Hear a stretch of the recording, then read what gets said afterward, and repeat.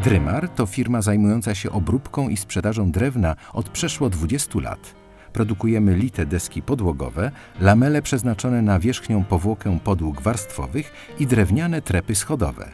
Oferujemy także lite blaty klejone oraz drewniane listwy przypodłogowe. Specjalizujemy się w wędzeniu, to jest modyfikowaniu i przybarwianiu drewna, co możliwe jest dzięki zastosowaniu w obróbce najnowszego specjalistycznego sprzętu. Wykorzystujemy wysokogatunkowe drewno dębowe i akacjowe, a długoletnie doświadczenie pozwala nam na przetwarzanie i wędzenie desek podłogowych i mozaik drewnianych, a nawet 50 mm tarcicy.